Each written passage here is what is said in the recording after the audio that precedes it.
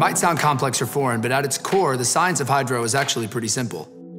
Hydroponics is feeding plants through nutrients suspended in water. In other words, gardening without soil. So, in the conventional backyard gardening that you're probably used to, plants waste energy searching through soil for nutrients and water.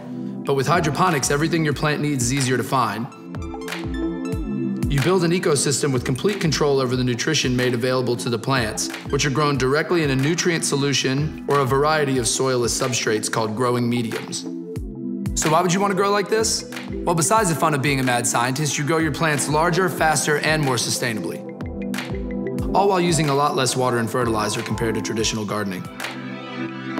Black Magic Performance Hydroponics. Darkness for the greater good.